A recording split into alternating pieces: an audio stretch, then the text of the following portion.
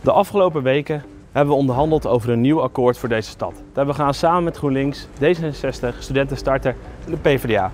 Het waren pittige weken, maar ik ben trots op wat we met elkaar hebben bereikt.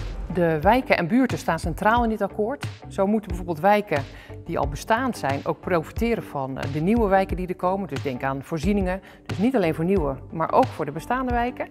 We gaan door met de actieagenda Utrecht Schuldenvrij. Dat betekent dat we schuldenproblematiek op tijd willen signaleren, het bespreekbaar willen maken en goede en duurzame hulp willen bieden voor mensen die schulden hebben. We gaan drie crisissen aanpakken. Investeren in kansengelijkheid, de wooncrisis en de klimaatcrisis. We zetten in op kwalitatief goede en menswaardige opvang. Uh, daar doen we ook een tandje bij dan wat landelijk van ons vraagt. En uh, dat geldt ook voor inburgering van uh, nieuwe Nederlanders. We vinden het belangrijk dat mensen de stilte kunnen opzoeken, ook in een stad als Utrecht. Zo komt er meer ruimte voor rust, door middel van onder andere prikkelarme plekken. Als het gaat om groen zijn er drie dingen die ik hier wil benoemen. Allereerst forse investeringen in groen in het algemeen.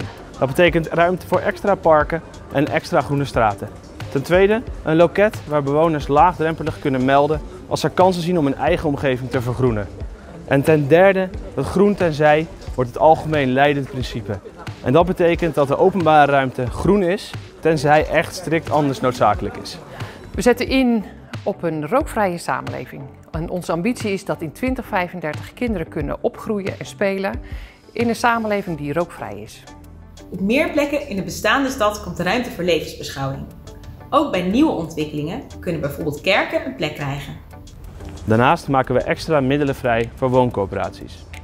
Een wooncoöperatie is een plek waar mensen samen wonen en leven, maar daarnaast ook van waarde zijn voor een wijk of buurt. Door middel van het huisvesten van een kringloopwinkel, een huiskamer of een gemeenschappelijke moestuin. Kan van alles zijn. Natuurlijk hebben we ook gesproken over de voor ons ingewikkeldere onderwerpen zoals drugs of prostitutie. En uh, ten aanzien van prostitutie hebben we gezegd, als het dan plaatsvindt of opgebouwd wordt in de stad, dan wel zo schoon en veilig mogelijk.